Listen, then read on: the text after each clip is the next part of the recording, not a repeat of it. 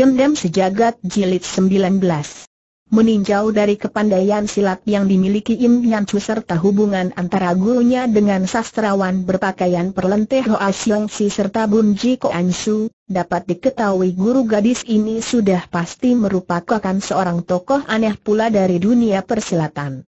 Tiba-tiba Im Yan Chu bertanya, Saudara Hao, Apakah sastrawan berpakaian perlenteh Hoa Xiong Si adalah pemimpin dari perguruan Hiat Mobun? Sebenarnya kami berdua pun mengira dia sebagai pemimpin perguruan Hiat Mobun, sebab ilmu silat yang dimilikinya sudah cukup diketahui setiap umat persilatan itulah sebabnya kami dua bersaudara pun bersedia untuk menggabungkan diri dengan perguruan Hiat Mobun lantas, Siapakah orang yang memimpin perguruan Hiat Mobun? Tanya Im Yan Chu seorang manusia berkerudung kain warna-warni, pemilik pedang Jui Sim Kia M Jeret Im Yan Chu terperanjat.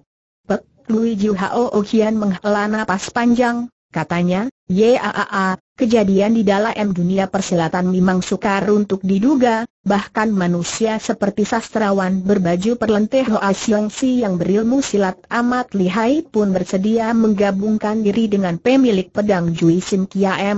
Kejadian ini sungguh di luar dugaan. Bukan begitu saja, Malah empat manusia bengis yang termasyhur sebagai gembong iblis nomor wahid dari Pulau Lautan Timur pun telah bergabung dengan pemilik pedang Jui Sim M tersebut. Dari sini dapat diketahui kalau pemilik pedang Jiu Sim M benar-benar memiliki ilmu silat serta kecerdasan yang lebih siapa pun jua. Im Yan Chu seperti tidak percaya dengan apa yang diucapkan Pek Lui Jiu Hao Okian. Kembali dia bertanya, Saudara Hao, mengapa kau mengatakan kalau sastrawan berbaju perlenteh Hoa Xiong Si telah mengabungkan diri dengan pemilik pedang Jui Sim Kia M? Pek Lui Ju Hao Okian Mi ngelana pas panjang, dia melanjutkan kembali kisah pengalamannya di masa lalu. Ketika itu kami dua bersaudara menjadi terkejut setelah mengetahui kalau orang itu adalah sastrawan berbaju perlenteh Hoa Siong Silo Pue yang termasyhur dalam dunia persilatan pada 30 tahun berselang, dengan amat hormat kami mohon maaf kepadanya di samping Mi luluskan pula ajakannya untuk bergabung dengan perguruan Hiat Mobun. Saat itulah sastrawa berbaju perlenteh Hoa Siong Si mengeluarkan sebilah pedang kecil berwarna perak yang tiga inci panjangnya, kemudian berkata, pedang kecil ini merupakan lambang dari perguruan Hiat Mobun kami, simpanlah baik-baik, pada bulan satu tanggal satu nanti datanglah ke puncak Tian Kia M Hang di Bukit Hang San untuk menjumpai ketua perguruan Hiat Mobun. Waktu itu kami merasa tertegun beberapa saat lamanya, kemudian segera bertanya, Hoa Lo Chiam Pua, apakah ketua Hiat Mobun bukan dirimu sendiri dengan wajah serius dan suara dalam? Sastrawan berbaju perlenteh Hoa Xiong Si menjawab, Aku orang si Hoa bukan manusia yang berkemampuan apa-apa, Bagaimana mungkin aku bisa menjabat sebagai ketua Hiat Mobun? Aku tidakkah lebih hanya salah satu bagian dari anggota Hiat Mobun kami berdua benar-benar amat terperanjat sesudah mendengar ucapan tersebut. Siapa gerangan yang memiliki kemampuan sedemikian hebatnya hingga dapat memimpin perguruan Hiat Mobun? Siapa gerangan orang itu setelah tertegun beberapa saat lamanya, kami dua bersaudara baru bertanya lagi, Hoa Lo Chiam Pua, lantas siapakah ketua Hiat Mobun? Hiat Mobun Cukak lain adalah manusia berkerudung kain warna-warni yang belakangan ini menggetarkan dunia persilatan sebagai manusia sakti ibaratnya naga perkasa yang nampak kepala tak kelihatan ekornya, dia pula pemilik pedang Jui Sim Kia M ini, sedang soal namanya, Aku sendiri pun kurang tahu padahal sastrawan berbaju perlenteh Hoa Xiong Si mengetahui nama serta asal-usul pemilik pedang Jui Sim Kia M tersebut, hanya saja dia enggan untuk memberitahukan soal ini kepada dua bersaudara tersebut karena kedudukan sastrawan berbaju perlenteh Hoa Xiong Si dalam perguruan Hiat Mobun hanya setingkat di bawah ketuanya. Waktu itu, kami dua bersaudara merasa curiga apakah pemilik pedang Jui Sim Kiai benar-benar adalah seorang pendekar yang bersedia menegakkan keadilan dan kebenaran. Agaknya sastrawan berbaju perlenteh Hoa Xiong Si mengetahui maksud hati kami, dengan cepat ia berkata, pemilik pedang Jui Sim M adalah bintang penolong dunia persilatan dewasa ini, kalian tak usah sangsi atau berpikir yang bukan-bukan, seandainya kalian tidak bernama besar dalam dunia persilatan, Hiat Mobun tak akan mencari kalian walaupun aku orang Sihoa mencari kalian berdua sekarang, namun secara diam-diam telah menyelidiki dahulu tingkah laku serta watak kalian sebelumnya mengundangnya secara resmi. Anggota Hiat Mobun sedikit sekali dan ditetapkan hanya terdiri dari 12 orang, setiap orang harus memiliki ilmu silat yang lebih orang lain, Kepandaian silat kalian berdua meski terhitung jagoan kelas satu di dalam dunia persilatan, tapi bila dibandingkan dengan manusia-manusia laknat dari golongan sesat, kau masih ketinggalan jauh sekali. Akan tetapi soal ini tak perlu dirisaukan, setelah bersuah dengan ketua pada bulan satu tanggal satu di puncak Tian Kia M Hang Bukit Hang San nanti, dia akan mewariskan beberapa macam kepandaian kepadamu bahkan dalam berapa hari saja akan menambah tenaga dalam kalian. Setelah mendengar perkataan itu, buru-buru kami menerima pedang Jui Sim M itu, semua kecurigaan dalam hati kami pun lenyap tak berbekas, bahkan rasa gembira kami tak terkirakan. Sedangkan sastrawan berbaju perlenteh Hoa Siong Si pun seusai mengucapkan perkataan itu segera mengerahkan ilmu meringankan tubuhnya dap berlalu dari situ dengan menyeberangi sungai setelah mendengar rahasia tersebut, timbul suatu perasaan yang aneh dalam hati Im Nyancu, Sebenarnya setelah masuk kota Heng yang dia hendak langsung mencari pemilik pedang Jui Sim Kia M dan mencari mutiara mestika Tian Hang Im Yang Sin Chu serta kitab pusaka itu. Tapi sekarang, dia sudah mengetahui kalau kepandaian silat yang dimilikinya tak mungkin bisa menandingi kelihayan dari pemilik pedang Jui Sim Kia M, karena ia cukup mengetahui akan kelihayan ilmu silat yang dimiliki sastrawan berbaju perlenteh Hoa Siong Si, kalau tokoh lihai seperti dia pun sampai takluk kepada pemilik pedang Jui Sim Kia M, itu berarti kepandaian silat yang dimiliki orang itu tak terlukiskan dengan kata-kata. Tapi, Im Yan Chu adalah seorang manusia yang keras kepala dan angkuh, walaupun dalam hati kecilnya sudah timbul perasaan was-was terhadap kemampuan pemilik pedang Jui Sim M, namun dia nekat untuk melaksanakan rencananya, sebab Ku Si Hang sudah merupakan jiwa raganya, ancaman jiwa terhadap pemuda itu sama artinya dengan ancaman jiwa baginya. Walaupun di luaran Im Yan Chu merupakan seorang manusia yang aneh, namun ia memiliki hangatnya cinta kasih seorang gadis serta cinta yang mendalam, apa yang telah menjadi tekadnya tak pernah akan tergoyahkan lagi untuk selamanya. Dalam pada itu, Pek Lui Jiu Hoa Kian telah mengalihkan sorot matanya memandang bintang yang berada di angkasa sana sehabis. Menyelesaikan kisahnya, kemudian telah mengelana pas sedih dia berkata, Nona Im, kami dua bersaudara mempunyai beberapa persoalan ingin mohon kepadamu. Im Yan Chu sudah mengetahui apa yang hendak dia katakan, tapi dia tetap berlagak seperti tidak tahu. Saudara Ho, kalian inginkan aku berbuat apa Nona Im? Kau harus tahu bagi anggota persilatan seperti kami, pegang janji merupakan suatu yang penting. Setelah kami dua bersaudara bersedia menggabungkan diri dengan Hiat Mobun, berarti kami merupakan salah satu bagian dari Hiat Mobun. Sebetulnya kami tidak pantas memberitahukan hal-hal tersebut kepadamu, tapi sekarang setelah memberitahukan kepadamu, kami berdua pun berharap kau bersedia memegang rahasia pada hari ini secara baik-baik, dan aku pun berharap kau jangan melakukan bentrokan yang bakal menimbulkan hal-hal yang tak menyenangkan dengan bakal ketua kami. Apakah kalian tega menyaksikan engkau hang tewas dalam keadaan yang mengenaskan? Kata Im Yan Chu sedih.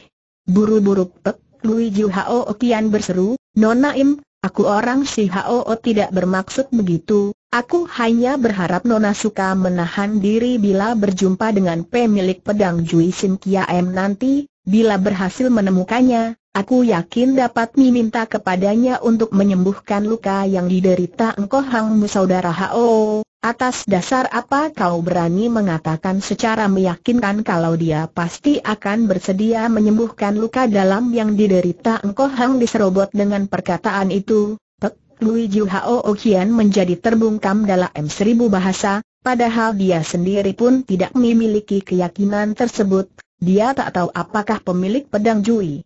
Sim Kia M akan bersedia menyembuhkan luka dari Kusi Hang atau tidak. Dia hanya menganggap pemilik pedang Jui Sim Kia M sebagai seorang yang bijaksana dan penolong kaum lemah, asal keadaan yang sebenarnya dari Kusi Hang diutarakan, Niscaya hal ini akan Mi manca simatiknya untuk menurunkan tangan dan menolong menyembuhkan lukaku Si Hong. Asalkan pemilik pedang Jui Sim Kia M berhasil ditemukan, dia pasti akan mengawulkan permintaan kita. Alasannya tak mudah kujelaskan, tapi senadainya sampai terjadi hal-hal yang tak diinginkan atau tidak berhasil menemukan dirinya, kita harus berangkat ke tebing He Jin Gui, Keselamatan Engkau Hang sekarang sedang berada di ujung tanduk, bila harus ditunda berapa hari lagi, mana mungkin ia bisa tahan untuk mencapai tebing He Jin Gei kata Im Nyan Chu sedih. Pek, Lui Hao Okian menghela napas sedih. Aku pun tahu kalau nyawanya sedang berada dalam keadaan berbahaya, tapi sekalipun kita menempuh perjalanan kilat siang dan malam, paling tidak membutuhkan lima hari untuk mencapai tebing He Jin Gui, Padahal ia sudah empat hari terkena ilmu Hao Ukut Jian Hun Im Kang, selewatnya tiga hari, sekalipun tabib sakti Hao Utu hidup lagi pun belum tentu bisa menyembuhkan penyakitnya. Beginilah situasi yang sedang kita hadapi sekarang, sekalipun mimburu ke tebing He Jin Ketoh belum tentu bisa menyelamatkan jiwanya, sedang tetap tinggal di Hang Yang untuk mencari Jui Sim Kia MCU pun masih tanda tanya besar, tapi kita harus berbuat sesuatu, hanya apa yang harus kita lakukan? Apa yang harus kita lakukan menurut jalan pikiranku, tetap tinggal di kota Heng yang malah justru masih ada setitik harapan, sebaliknya kalau berangkat ke Heijin Ke tak lebih hanya menggantungkan pada suatu keajaiban, maka aku pikir lebih baik kita tinggal sehari dulu di kota Heng, yang, mari kita mencoba beradu nasib, bila dalam sehari kita gagal. Menemukan jejak Jui Sim Kia MCU, maka kita baru berangkat lagi ke tebing He Jin Gui. Tentu saja aku orang si Hao tak bisa memutuskan masalah ini, silahkan Nona Mim pertimbangkannya sendiri bagaimana baiknya pikiran Im Yan Chu sekarang sedang diliputi oleh pelbagai ingatan yang berkecamuk tak karuan, hatinya betul-betul terasa kalut, diam-diam ia melelahkan air mata. Dengan sikap maupun tindak tanduknya selama ini, nyatanya menaruh perasaan cinta yang begitu mendalam dan suci bersih, hal tersebut benar-benar berada di luar dugaan siapa saja. Padahal kekuatan cinta memang besar tak berterian, bila tanpa cinta, kehidupan manusia di dunia ini menjadi sama sekali tak berharga. Tentu saja hal ini bukan terbatas dalam soal cinta muda-mudi saja, Sebaliknya termasuk juga cinta kasih antara orang tua, cinta dari sahabat dan lain sebagainya, tapi antara sekian banyak cinta, sudah barang tentu cinta muda-mudi yang paling mendalam. Begitulah, dengan nada suara yang tegas dan berat Im Yan Chu berkata, engkau Hang tak mungkin bisa mati, kita tinggal sehari di kota Heng yang tanda seru tergetar keras perasaan Pek Lui Jiu Hao Okian sesudah mendengar perkataan itu, ia mengerti maksud Im Yan Chu, buru-buru serunya, Nona Im, belum habis teka Lui Jiu berseru, Sian Hang Kek sudah Mim peringatkan dengan gelisah, hati-hati, penunggang kuda berbaju putih tadi telah berbalik kemari, kali ini dia menuju ke tempat kita berada, si tangan geledek Hao Okian tak sempat melanjutkan perkataan selanjutnya, dengan sorot mata yang tajam bagaikan semilu dia menatap ke arah depan lekat-lekat. Waktu itu malah em baru saja menjelang tiba, beribu-ribu bintang tersebar memenuhi angkasa dan menyiarkan cahaya lembut dan licin, jalan raya yang panjang dan lebar diliputi sinar putih dan terang. Dalam keheningan inilah mendadak terdengar suara derap kaki kuda yang amat ramai bergema dari kejauhan sana, Lalu tampak sesosok bayangan putih bergerak mendekat dengan kecepatan tinggi. Dalam waktu singkat kuda putih tersebut sudah berada 20 kaki di hadapan mereka lalu meringkik panjang, kaki depannya didepak-depakan, sementara turunnya berputar kencang tepat di hadapan mereka. Rupanya penunggang berbaju putih itu sudah membalikan kudanya lagi dan melarikan ke arah kota Heng, yang Tindak tanduk yang sangat aneh itu cukup membingungkan orang. Pek, Lui Jiu Hao Okian dan Sian Hang ke Hao Ogi segera berkerut kening setelah menyaksikan tindak tanduk penunggang kuda berbaju putih yang aneh itu, dalam waktu singkat mereka sudah terbuai dalam lamunan masing-masing. Im Yan Cusi Nona yang binal tapi licik seperti siluman rase itu hanya mengintip dari balik tirai, dia sendiri pun dibikin tidak habis mengerti oleh tingkah laku penunggang kuda berbaju putih yang aneh tersebut. Namun dalam hati kecilnya sudah muncul suatu perasaan was-was, sebab tak kala orang berbaju putih itu membalikan kudanya tetap di hadapan mereka, ia saksikan seluruh tubuh orang itu melambung di angkasa kemudian dalam waktu singkat pula ia melayang ke bawah dan duduk kembali di atas pelana kudanya. Demonstrasi kepandaian tersebut Miem buktikan kalau orang itu memiliki ilmu silat yang luar biasa sekali. Tiba-tiba Im Yan Cumi ngelana pas sedih, katanya, Saudara Hao, apakah kau melihat jelas gerakan tubuhnya tadi? Ya, kulihat amat jelas sahut Pek Lui Jiu Hao Okian, entah siapakah orang itu. Hebat benar ilmu silat yang dimilikinya kembali Im Yan Chu menghela napas. Orang ini selalu mengikuti kita, tampaknya ia sudah mengetahui keadaan kita yang sebenarnya, aaai, bicara dari ilmu silatnya yang sangat lihai, aku pun turut menjadi ngeri rasanya. Mendadak. Dari sisi kereta berkumandang suara tertawa dingin yang menyeramkan seperti sukma yang sedang gentayangan. Suara tertawa itu lengking dan lirih, seperti jarum lembut yang ditusukkan ke tubuh orang, sungguh menggetarkan perasaan siapa saja. Di tengah suara tertawa dingin yang menggidihkan hati itulah, tampak sesosok bayangan hitam berkelebat lewat. Kedua ekor keledai penghela kereta itu segera meringik panjang lantaran kaget, kaki depannya segera didepak-depakan ke muka, sementara laju kereta itu pun segera terhenti.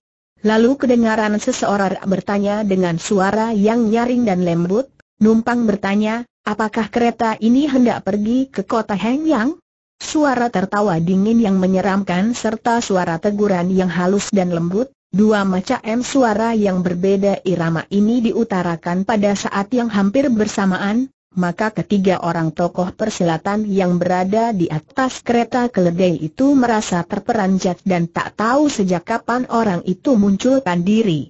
Perubahan yang sangat mendadak dan sama sekali di luar dugaan ini membuat Kang Layam Siang Hou yang berada di atas sia tempat duduk kusir berubah muka, tapi dikala mereka mendengar suara teguran dan berpaling, keempat mati mereka kontan terbelalak dengan wajah tertegun.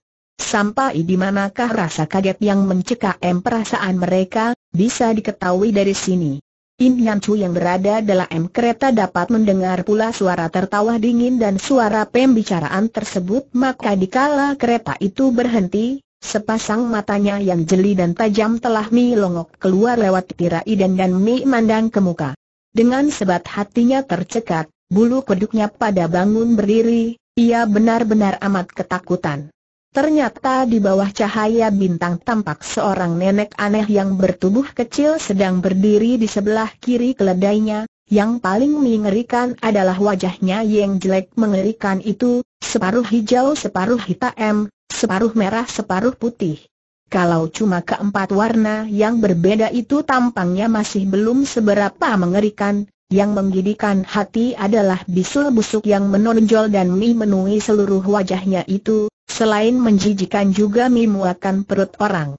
Ini masih ditambah pula dengan rambutnya yang kusut penuh beruban dan kulit badan yang berminyak.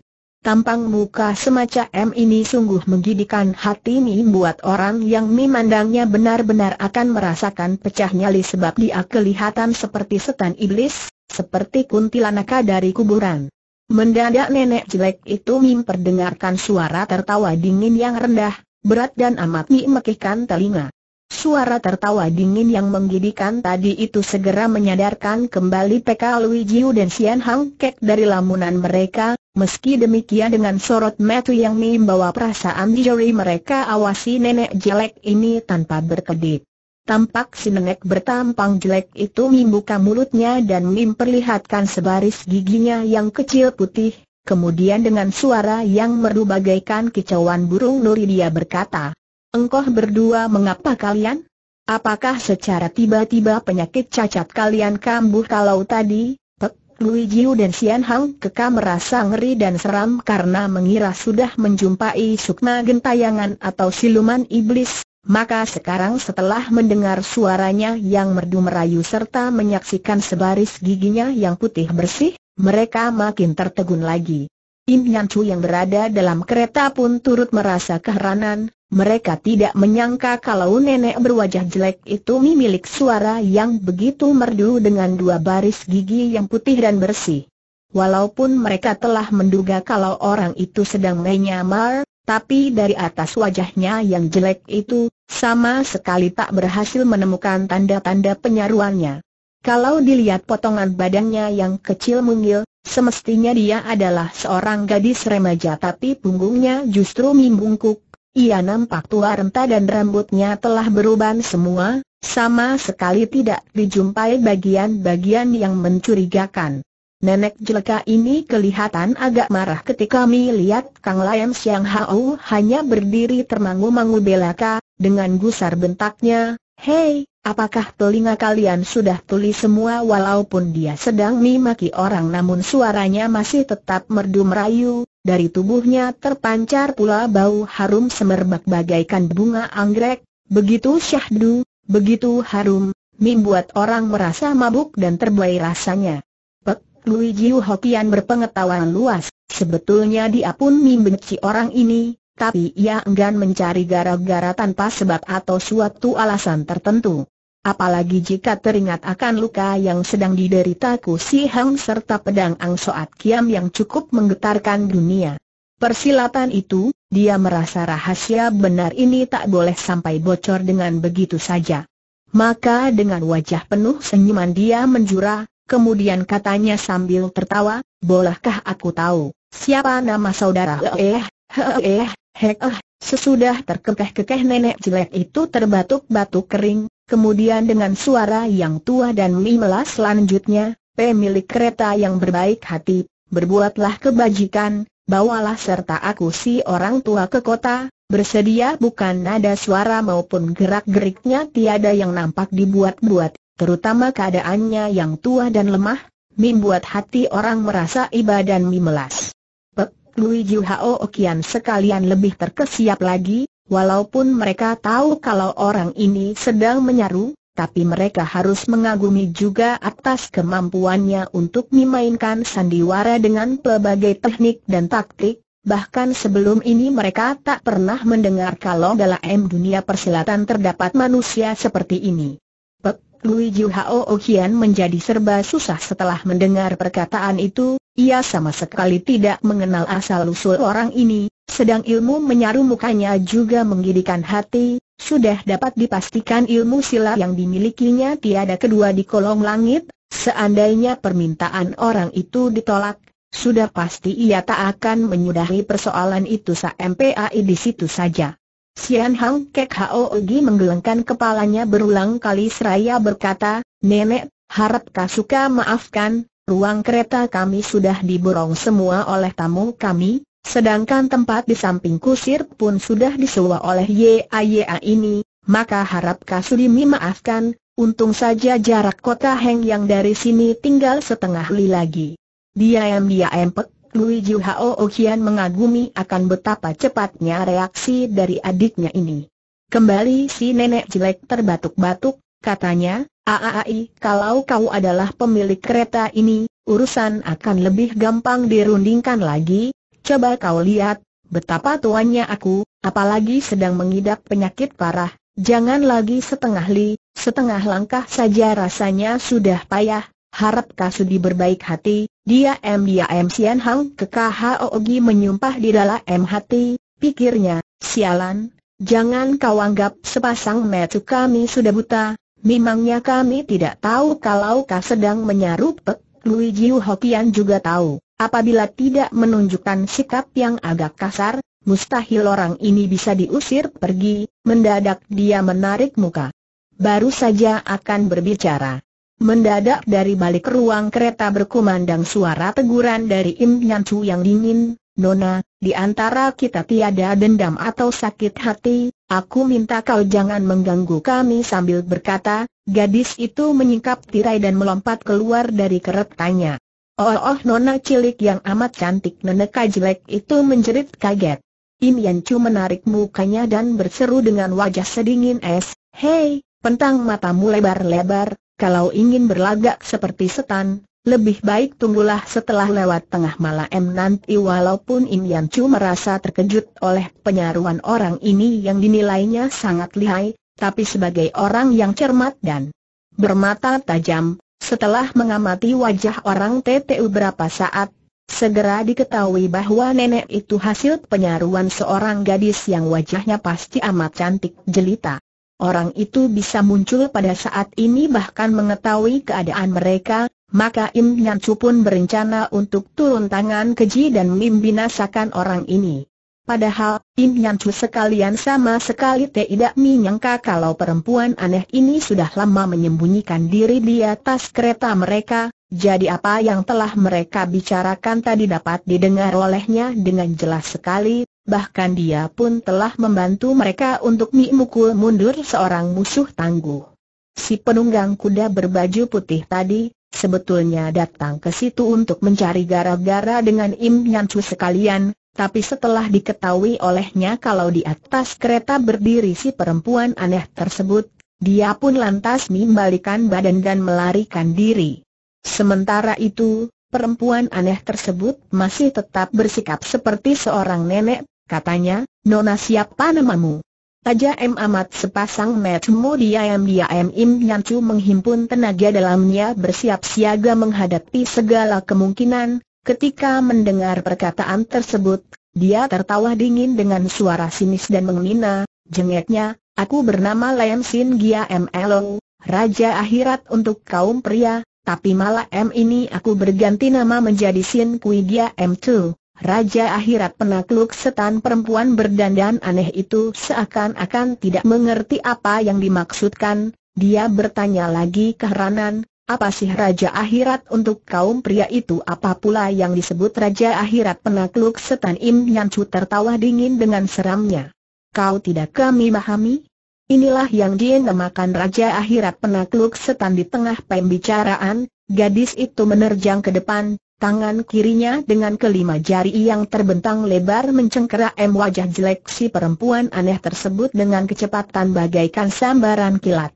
Gerakan tubuh perempuan aneh itu memang ampuh, terdengar ia menjerit kaget, seperti ketakutan dia mundur dengan sempoyongan, tapi justru dengan tindakan mana ia telah meloloskan diri dari cengkeraman kilat Im Yanchu.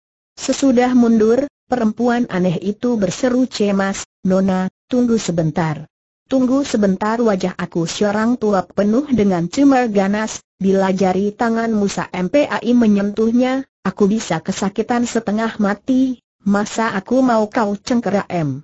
Hawa nafsu membunuh yang berkecamuk dalam dada Im Nyancu semakin mimbara setelah menyaksikan cengkeraman mautnya berhasil dihindari lawan, ia tertawa dingin lalu ujarnya sinis, HMMMM, Selain topeng kulit manusiamu itu akan kucopot pada malam ini, bahkan aku pun hendaka mengirimmu ke akhirat untuk menakut-nakuti setan di situ berbicara sampai di situ, dengan wajah penuh hawa nafsu membunuh selangkah demi selangkah Im Yancu berjalan ke muka dan mendekati perempuan aneh itu. Kembali perempuan aneh itu berseru dengan cemas. Nona menyeramkan amat wajahmu, oh oh oh, Cepat simpan kembali wajah ganasmu itu, aku seorang tua benar-benar ketakutan setengah mati. Walaupun perempuan aneh itu menyerukan kata-kata yang menunjukkan rasa takut, namun dia masih berdiri tegak di tempat. Semula, bahkan dari balik matanya memancar sinar tajam yang menggidikan hati. Im Yancu segera berkerut kening, tiba-tiba lengan kirinya membuat gerakan satu lingkaran busur dengan suatu kecepatan yang luar biasa, kemudian telapak tangan kanannya secepat kilat meluncur ke depan melancarkan serangan mematikan. Begitu serangan mana dilepaskan, bagaikan angin puyuh yang melanda daratan rendah, segulung tenaga pukulan yang maha dahsyat seperti ambruknya bukit karang atau melanda tibanya air bah meluncur tiba dengan hebatnya.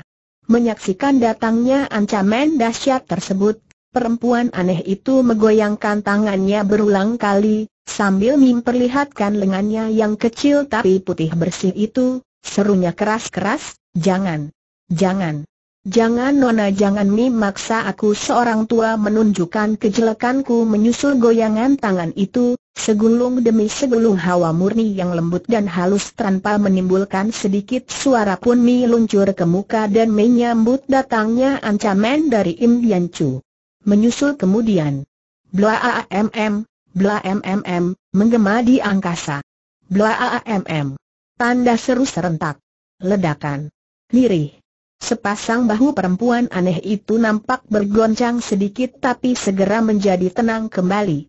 Jauh berbeda dengan keadaan dari Im Yan Chu, sewaktu tenaga serangan lawan yang lembut itu menyentuh tenaga pukulan yang dilepaskan olehnya segera terasalah suatu tenaga pantulan yang maha dahsyat berbalik mendesak ke arah tubuhnya memaksa koda-kodanya menjadi gembur dan ia turut mundur sejauh dua tiga langkah.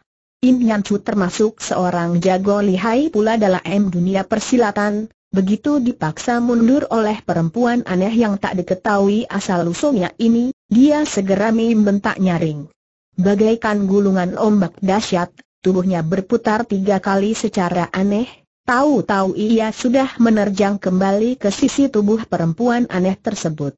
Gerakannya ini dilakukan dengan kecepatan bagaikan sambaran kilat, baru saja mundur, tubuhnya telah menerjang kembali ke depan, pada hakikatnya sama sekali tidak memberi peluang kepada orang lain untuk mengatur diri. Menghadapi terjangan-terjangan maut dari lawannya, perempuan aneh itu masih saja berteriak-teriak seperti orang gila, sementara kakinya melangkah tanpa beraturan, sepasang tangannya turut berputar-putar menciptakan lapisan hawa pukulan dahsyat, Ketiga gulung tenaga serangan dari Im Yan Chu itu segera kena terpunahkan hingga lenyap tak berbekas. Im Yan Chu sudah terlanjur gemas atas sikap aneh musuhnya, dia tertawa dingin, tubuhnya menerjang ke muka dengan gerakan cepat tangan dan kakinya digunakan bersama melakukan serangan kilat yang kesemuanya menggulung tubuh perempuan aneh tersebut. Agaknya perempuan aneh itu sudah dipancing hawa amarahnya oleh serangan balasan Im Yan Chu yang maha dahsyat itu, mendadak ia menarik kembali sikap keedan-edanannya. Sepasang ujung bajunya yang berwarna hitam, seperti dua ekor ular lincah, menggulung milingkar dengan kecepatan yang luar biasa, Ya menebas, Ya memapas, semuanya tertuju ke urat nadi pergelangan tangan Im Yan Chu.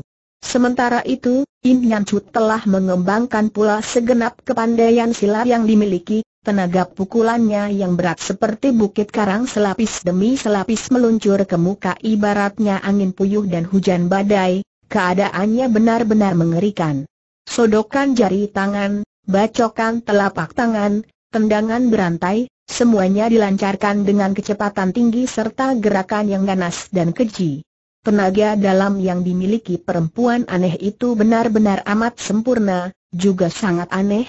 Semua ancamannya dilepaskan dengan gerakan yang nampaknya ringan, tapi jurus serangannya justru sangat aneh dan ganas, disertai pula dengan pelbagai perubahan yang membuat orang sukar untuk menduga atau mencegah sebelumnya.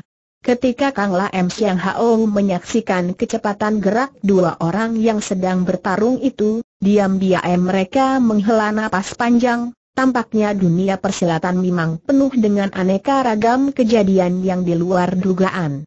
Gerakan tubuh mereka indah dan lincah, serangannya ganas dan cepat, setiap jurus serangannya dilancarkan secara beruntun dalam satu gerakan yang memanjang, keampuhan jurus serangannya pun merupakan sesuatu yang menggetarkan sukma setiap manusia. Dalam waktu singkat, kedua orang itu sudah bertarung sebanyak puluhan jurus. Di dalam puluhan gebrakan tersebut, meski nampaknya Im Yan Chu yang berhasil meraih kedudukan unggul, tidak begitu dalam kenyataannya, justru jurus-jurus serangan dari perempuan aneh itulah yang seluruhnya mengandung ancaman mematikan yang mengerikan hati, tapi ia tidak berniat melukai Im Yan Chu, maka semua ancaman tersebut dibuyarkan dengan begitu saja setelah mencapai pada sasarannya. Di tengah gerakan tubuhnya yang sangat cepat, tiba-tiba Im Yanchu berkelit ke samping menghindarkan diri dari ancaman kilat dari perempuan aneh tersebut. Telapak tangan kanannya dibalik dengan segera, dari serangan telapak berubah menjadi cengkeraman, dicengkeramnya urat nadi lawan dengan suatu gerakan kilat. Sementara lima jari tangan kirinya disentilkan ke depan langsung menotok jalan darah Seng Hyang dan Ho Hiat pada dahi kanan perempuan aneh tersebut.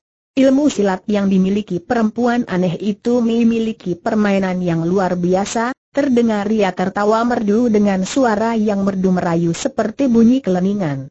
Mendadak telapak tangan kirinya direndahkan ke bawah, Telapak tangan kanannya melakukan tangkisan sejajar dengan muka kemudian tubuhnya berputar cepat. Telapak tangan kirinya yang merendah dengan kelima jari tangan yang direntangkan lebar-lebar itu membalik secara tiba-tiba mencengkeram jalan darah Cikahai Hiat di sikut kanan Im Yen Chu. Telapak tangan kanannya secara cepat menangkis gerakan Im Yan Chu dan berbalik menotok jari tangan kirinya yang lagi mengancam dahi kanannya itu. Terdengar, ia tertawa merdu. Nona Im, ilmu silatmu memang terhitung hebat juga, sayang aku tak punya waktu senggang pada malam ini, tak ada salahnya bila pertarungan ini kita lanjutkan di kemudian hari saja, Im Yan Chu benar-benar tidak habis mengerti bagaimana cara lawan mencengkeram jalan darah ciki hiatnya itu, sebab jurus serangannya yang sangat aneh itu membuat orang sukar meloloskan diri, terutama posisinya sewaktu melancarkan serangan benar-benar hebat dan luar biasa. Begitu selesai berkata, perempuan aneh itu segera mengendorkan cengkeramannya pada sikut kanan Im Yanchu, lalu tangan kanannya mengayun ke depan, segulung kertas telah disusupkan ke dalam telapak tangan kanan Im Yanchu titik. Kemudian tidak nak MPAK gerakan apakah yang digunakan, hanya terlihat sesosok bayangan hitam berkelebat lewat, Seenteng selembar bulu, ia sudah melayang pergi menuju ke arah kota Hengyang. Kelihayan ilmu meringankan tubuhnya itu sungguh luar biasa sekali, hampir saja ia tak percaya kalau umat manusia bisa memiliki kepandaian semacam ini.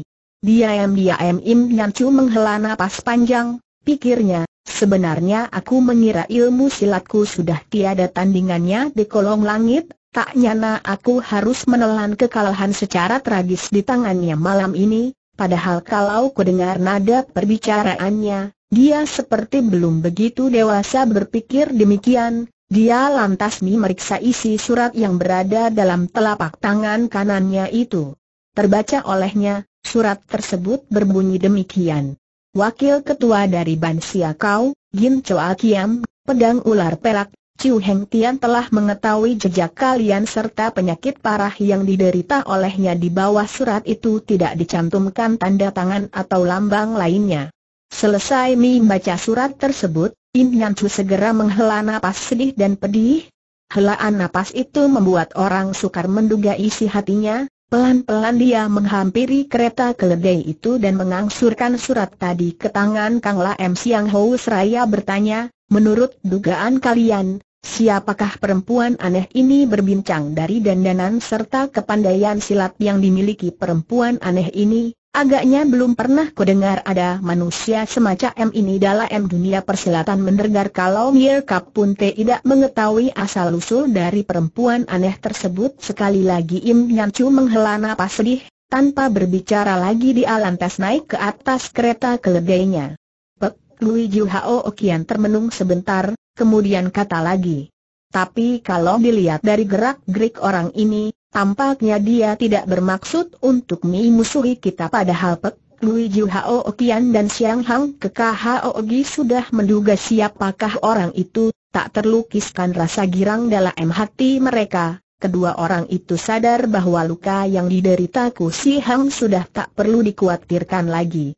Mari kita berangkat ke kota terdengar Im Yan Chu berseru cemas. Kang Lam Siang Hao segera membentak keras, cambuknya dihantamkan ke atas keledainya keras-keras, dua ekor keledai itu pun mulai berlarian menuju ke depan, suara roda kereta yang menggelas batu menimbulkan suara yang amat nyaring dan membelah keheningan malam. Waktu itu mereka telah percepat perjalanan untuk mencapai tempat tujuan, di bawah kerlipan cahaya bintang tampak debu mengepul memenuhi angkasa. Kota Heng yang merupakan kota pusat lalu lintas wilayah Ciciu, bentengnya kekar dan tinggi, waktu itu kereta keledai tersebut telah menembusi pintu kota dan menerjang masuk ke dalam.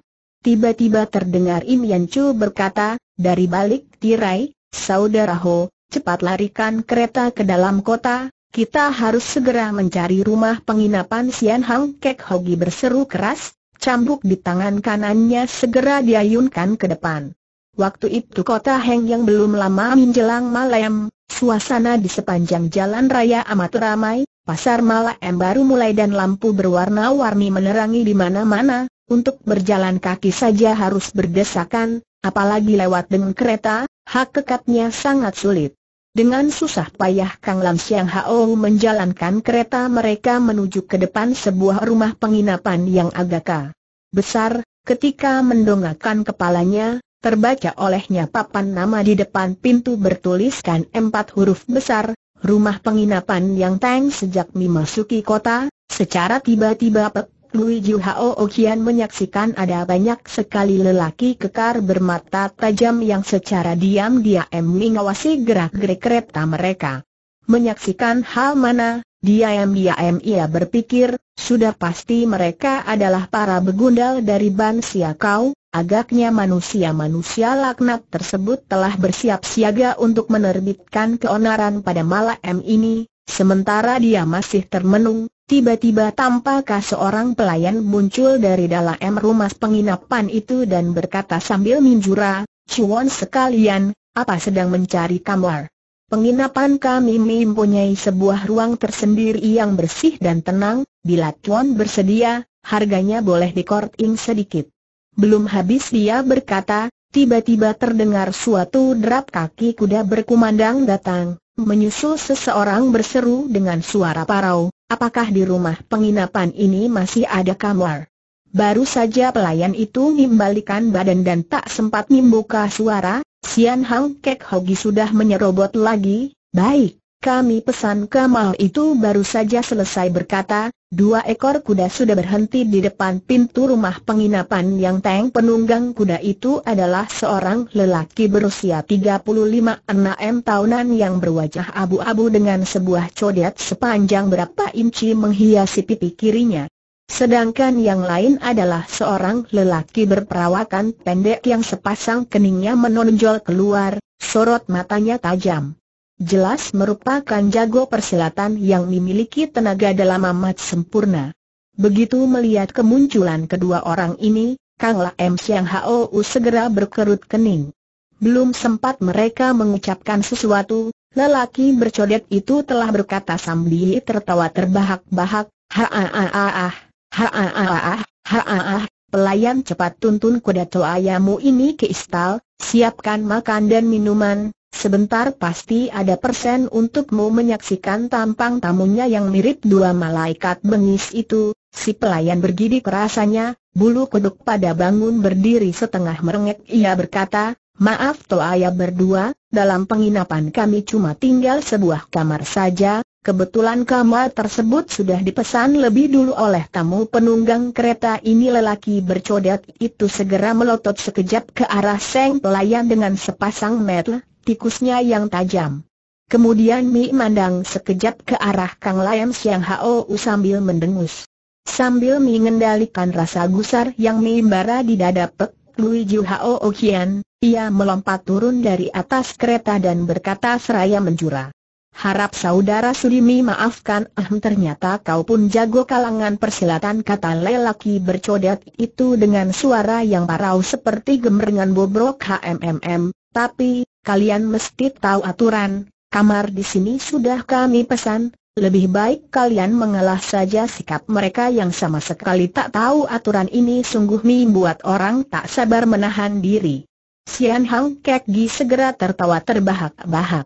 Haa, haa, haa, saudara apakah kau hendak memamerkan sifat berandalmu ketika laki bercodet itu mendengar suara tertawa dari Sian Hang Kek? Sekali lagi hatinya bergetar keras, tapi di luarannya tetap tertawa terbahak-bahak, katnya, ha kau pun seorang jagoan dari dunia persilatan sambil berkata, cambuk yang berada di tangan lelaki bercodet itu tahu-tahu sudah menegang kencang bagaikan sebatang tombak, agaknya dia sudah berusaha untuk mengumbar hawa amarahnya.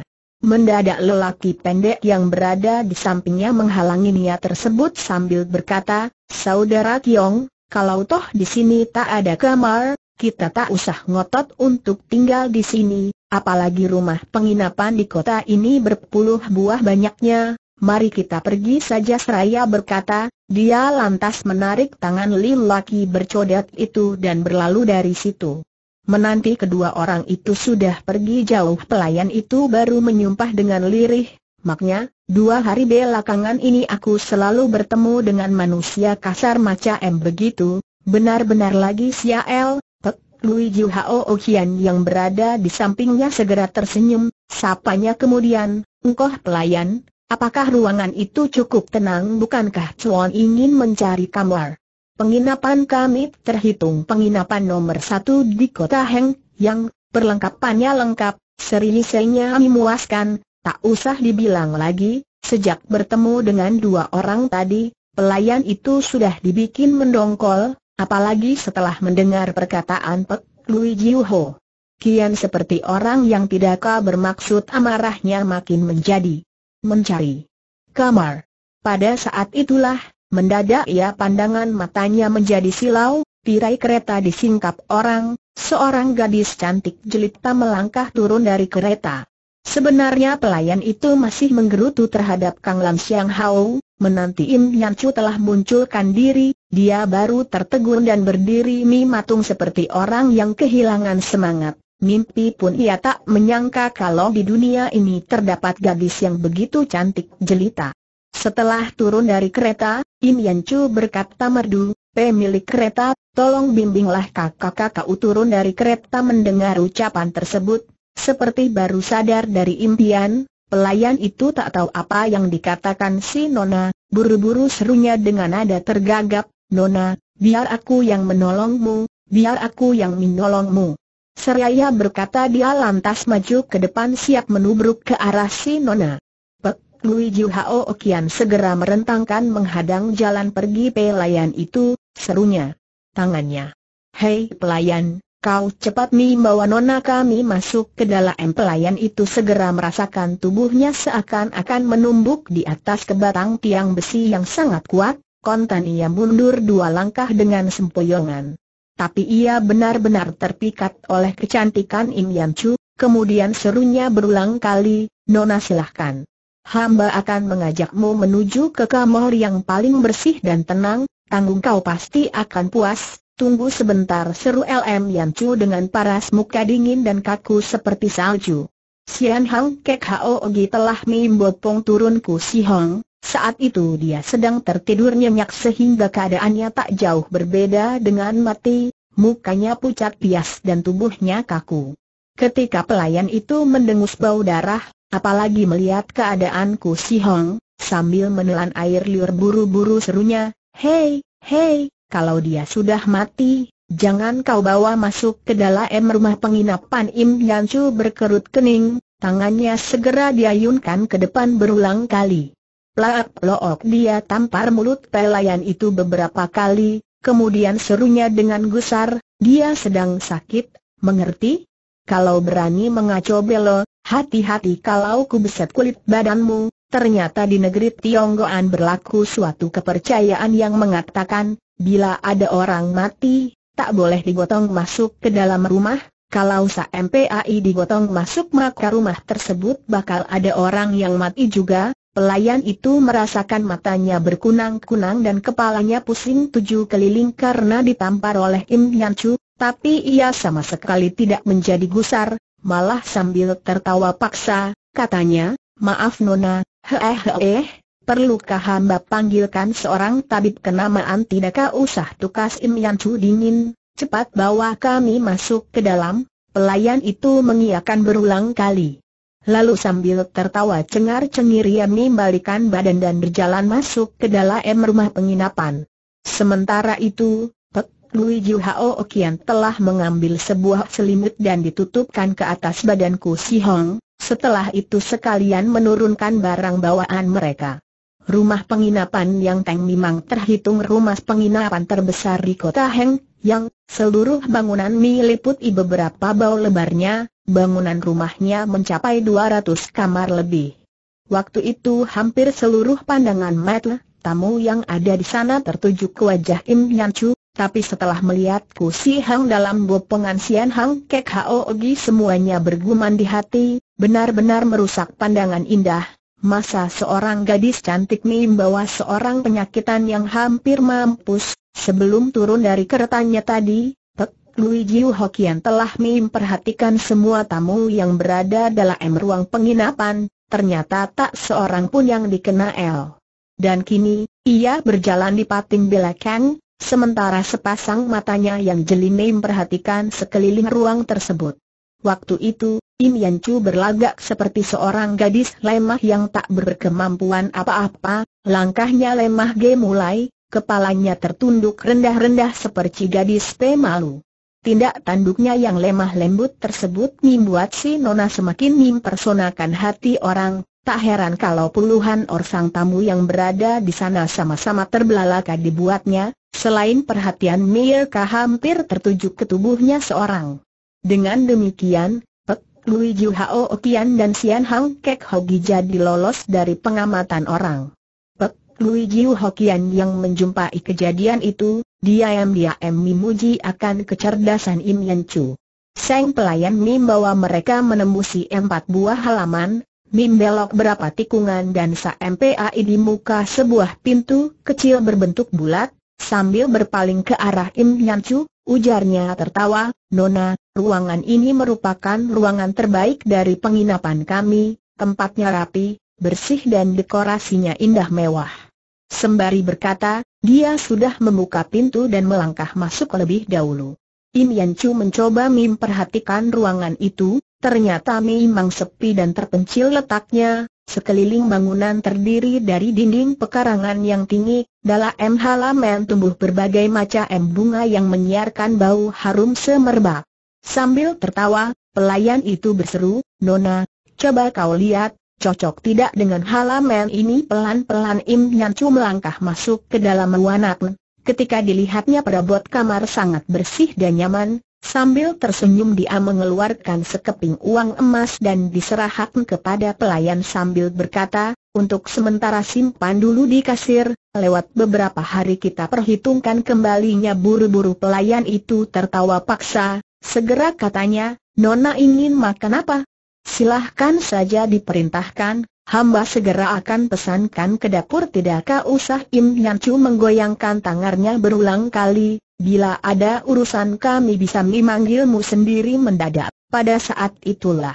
Dari balik pintu bulat melangkah masuk seorang lelaki kasar berbaju hitam, tanpa mengucapkan sepatah kata pun orang itu langsung menerjang ke dalam ruangan.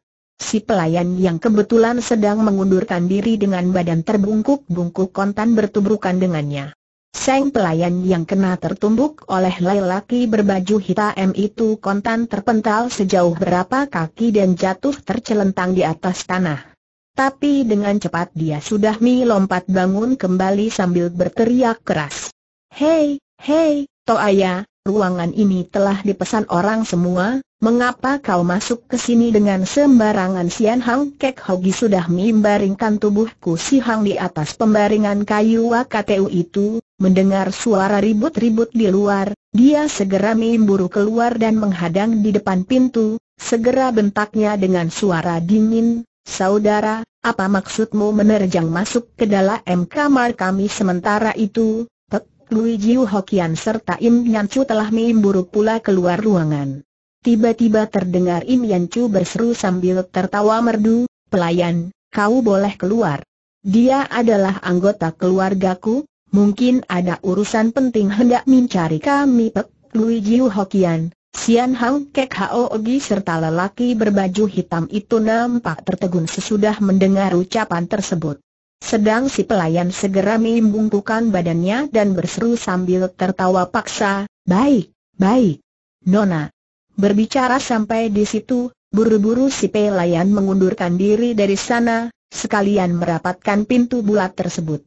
Setelah pelayan itu berlalu, paras muka Im Yancu baru berubah menjadi dingin seperti es, di balik matanya yang jeli terpancar keluar cahaya tajam yang menggidikan hati, katanya setelah tertawa dingin dengan suara mengeramkan, di sorga ada jalan kau ogah melewatinya, neraka tiada pintu kau justru menerjang kemari, Aku lihat nasib sialmu memang telah berada di depan mata setelah mendengar teguran mana, Pek Lui Jiu Hokian dan Sian Hang Kek Hao Ogi baru mengerti apa gerangan yang telah terjadi. Dengan cepat mereka melompat ke samping dan menghadang jalan mundur lelaki berbaju hitam itu. Semenjak menyaksikan gerakan tubuh dari Kang Lem Siang Hao, lelaki berbaju hitam itu sudah tahu kalau gelagat tidak menguntungkan, tapi dia terlalu yakin dengan berapa jurus serangan dahsyat yang dimilikinya, maka paras mukanya masih nampak sangat tenang. Dia pun tertawa seram. Heeh, heeh, heeh, nona mungkin kaulah yang menjadi gendakku si Hang Im Yan Chu merasa amat terperanjat sekali, mukanya berubah menjadi merah pada M. Harus diketahui, gadis perawan di Jaman itu tak pernah keluar rumah bila belum pernah menikah, Meskipun adat istiadat tersebut tidak mengikat para gadis yang berkelana adalah M dunia persilatan, akan tetapi bila sampai dimaki orang sebagai gendaknya seorang pemuda, malah penghinaan tersebut benar-benar suatu penghinaan yang keterlaluan sekali. Benar Im Yan sangat mencintai Ku Si Hong, tapi setelah dikatakan sebagai gendaknya Ku Si Hong oleh lelaki berbaju hitam itu, ia menjadi malu dan tersinggung perasaannya. Dengan suara rendah dan berat Pek, Lui Ju Hao Okian segera menegur dingin, kau adalah manusia laknat dari Bansia kau lelaki berbaju hitam itu tertawa seram. Hei siapa kau? Berani benar menghina perkumpulan kami ternyata lelaki beraju hitam ini adalah seorang Hiang Chu di bawah pimpinan ruang Te Huntam yang berada dalam perkumpulan Bansia kau, orang menyebutnya sebagai Tisah Chiang, Pukulau pasir besi, Ban Kuan Seng. Paras muka Sian Hang Kek Hogi berubah berat besi, dia turut berkata pula dengan nada dingin, malah M ini kau jangan harap bisa lolos dari kota kematian ini dengan selamat, agar kau bisa mati dengan hati yang jelas, Ketahuilah bahwa ayamu berdua adalah Kang Layam Siang Ho begitu Sian Hang Kek Hogi melaporkan asal-usulnya, paras muka si pukulan pasir besi dan Kuan Seng berubah sangat hebat, tapi hanya sebentar saja telah pulih kembali seperti sedia kala, dia tertawa seram makin keras lagi. Hei maaf, maaf. Rupanya kalian berdua adalah Pek Lui Jiu dan Sian Hang Kek yang amat termasyhur itu, cuma aku pun ingin memberitahukan kepada kalian, sekarang bila tidak segera mengundurkan diri dari tempat ini, Mungkin kau tak bisa hidup mi lewati kentongan kelima Im Yan Chu mendengus dingin dengan nada yang menghina, dengan wajah diliputi hawa nafsu membunuh, dia berseru pula, aku pun hendak kami beritahukan kepadamu, kehidupanmu dalam dunia saat ini dengan cepat akan berakhir sambil berkata, paras muka gadis itu berubah semakin dingin seperti es, sepasang matanya memancarkan cahaya dingin yang penuh dengan hawa pembunuhan, Pelan-pelan dia berjalan menghampiri si pukulan pasir besi Ban Kuan Seng. Bergidik juga hati Tisah Chiang Ban Kuan Seng sesudah menyaksikan paras muka Im Yan Chu yang menggidikan hati itu, diam-diam pikirnya, aduh celaka, malah M ini aku benar-benar sudah salah melihat, Ternyata dia mengira Im Nyan Chu adalah seorang gadis yang sama sekali tidak mengerti ilmu silat sehingga segenap perhatiannya dipusatkan pada Kang La M Siang Hao berdua, dalam anggapannya kedua orang lelaki itu pasti dapat diatasi dengan mengandalkan kepandaian silat yang dimilikinya. Tapi sesudah mendengar Kang Lam Siang Ho melaporkan namanya seketika itu juga hatinya menjadi dingin separuh, tapi satu ingatan segera melintas pula di dalam benaknya, dia berniat untuk membekuk gadis itu dan menjadikannya sebagai sandra dalam usahanya melarikan diri nanti. Tetapi sekarang, ia sudah tahu sampai di manakah taraf kepandaian silat yang dimiliki gadis itu, bahkan jauh mengungguli kemampuan Kang La M Siang Hao, bisa dibayangkan betapa terkesiapnya hati orang ini. sekujur badan si pukulan pasir besi dan Puan Sengge metar sangat keras, menyusul gerak tubuh Im Yan Chu yang mendesak maju ke depan, dia mundur terus berulang kali. Udara di sekeliling tempat itu segera diliputi oleh suasana seram dan mengerikan hati. Mendadak, si pukulan pasir besi dan Puan Seng miringkan badannya ke samping, lalu setelah bertekuk pinggang, Tangan kanannya diayunkan ke depan menghajar dada Sian Hang Kek Hogi. Serangannya dilakukan cepat dengan kekuatan yang dahsyat, terasa desingan angin tajam yang memekihkan telingan main deru-deru. Sian Hang Kek Hogi termasuk juga seorang jagoan yang berdarah panas, melihat datangnya ancaman tersebut bukan mundur, dia malah maju ke depan, kakinya berputar seperti angin puyuh, Tangan kirinya membalik dan menggunakan ilmu kina Hoat, dia cengkeram urat nadi pada pergelangan tangan kanan lawan. Sebetulnya serangan yang dilancarkan si pukulan pasir besi Ban Kuan Seng terhadap Sian Hang Kek tadi tak lebih cuma sebuah gertak sambal belaka, baru saja telapak tangan kanannya didorong ke muka, buru-buru dia membuyarkan kembali ancaman tersebut, tangan kirinya balik dibuang ke belakang dan menghantam ke arah Lui Jiu Hokian yang berada di sebelah kanan dengan sebuah pukulan maha dahsyat. Menggunakan kesempatan yang sangat baik itu, lantas menyelinap keluar melalui celah-celah di antara Kang La M Siang Hao. Sian Hang Kek Hogi adalah seorang ahli dalam ilmu meringankan tubuh, sudah barang tentu ia tidak membiarkan lawannya melarikan diri dengan begitu saja, baru saja si pukulan pasir besi dan Kuan Seng hendak menggerakkan badannya, Bayangan manusia tanpa kabar kelebat lewat, Sian Hang Kek sudah menghadang di hadapan mukanya sambil mendorongkan telapak tangan kanannya dengan sebuah pukulan aneh. Bla MMM terjadi suatu benturan nyaring yang amat menyekikan telinga.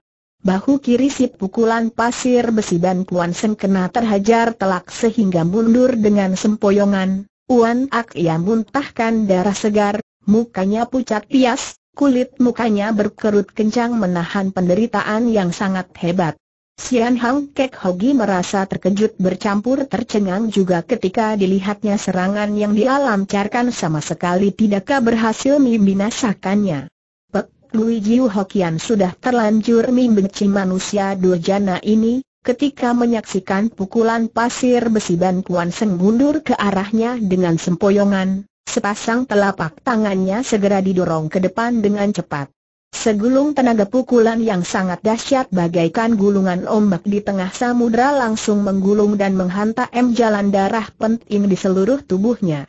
Seandainya tubuh si putkulan pasir besi dan Kuan Seng terhajar oleh serangan angin puyuh yang dilancarkan Pek Lui Jiu Hokian niscaya akan tewas seketika. Tapi, umat persilatan kebanyakan memang suka menggunakan akal licin atau tipu muslihat untuk merobohkan lawannya.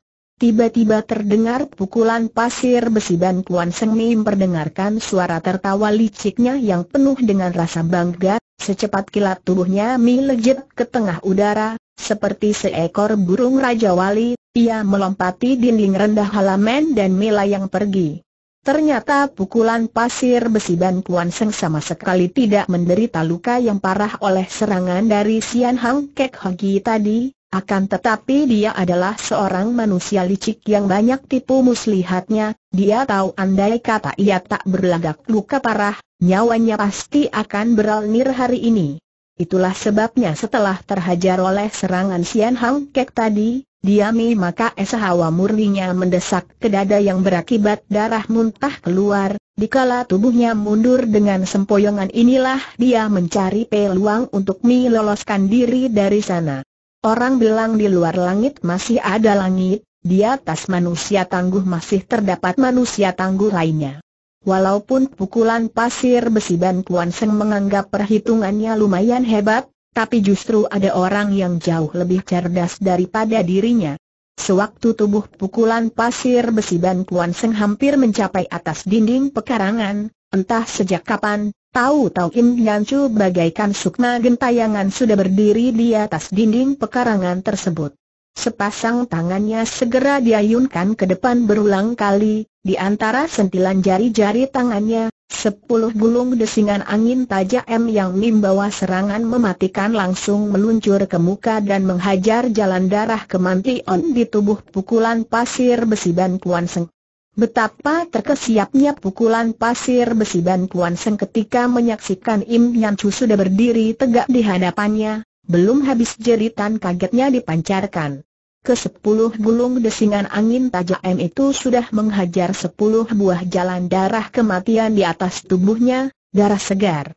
Mi mancar keluar bagaikan pancuran, tak sempat mendengus lagi ia mati secara mengenaskan di tangan Im Yen Chu. Badannya mencelat ke tengah udara dan bla AAMM terbanting keras di atas tanah. Selesai Mi bereskan nyawa pukulan pasir besi Ban Kuan Seng, dengan enteng Im Yan Cumila yang turun ke atas tanah, lalu katanya dengan suara lirih, Saudara Ho, tolong kau bereskan jenazah orang ini, daripada nantinya pelayan itu geger. Sebenarnya Kang Lam Siang Ho masih termanggul setelah menyaksikan Im Yan Cum Lim bunuh pukulan pasir besi Ban Kuan Seng dengan lima jarinya, mereka menjadi kaget setelah menyaksikan Im Yan Chu tahu-tahu berdiri di hadapannya, Kesempurnaan ilmu meringankan tubuhnya itu ibaratnya sukma gentayangan saja. Dengan wajah penuh penyesalan, Lui Jiu Hokian berkata, andai kata bukan Nona, hampir saja orang ini melarikan diri dari sini.